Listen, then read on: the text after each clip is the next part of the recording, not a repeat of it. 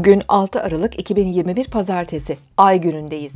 Oğlak burcunda ilerleyen ay, kariyer ve geleceğimizle ilgili hedef ve beklentilerimizi öne çıkarıyor. Sabah saatlerinde ay, Boğa burcundaki Uranüs'e üçgen görünüm yapacak. Bizi heyecanlandıracak, ilginç ve sürpriz haberler duyabiliriz.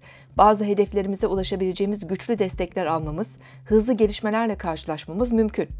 İş, kariyer ve parasal sorunları çözebilecek hızlı ve pratik fikirler üretebiliriz. Öğleden sonraki saatlerde sosyal alanda daha aktif ve girişken davranabiliriz.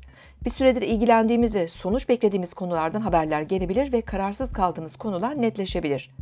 Oğlak burcundaki ay akşam saatlerinde Balık burcundaki Neptünle uyumlu görünümde olacak. Sezgilerimizin güçleneceği akşam saatlerinde içe dönüşler yaşayabilir, ruhsal ve sanatsal açılımlarla karşılaşabiliriz. Günlük işlerde maddi manevi ihtiyaç duyduğumuz yardımları almamız da mümkün. Zihnimizi sakinleştirecek, ruh halimizi dengeleyecek ruhsal faaliyetler, şifa çalışmaları da yapabiliriz.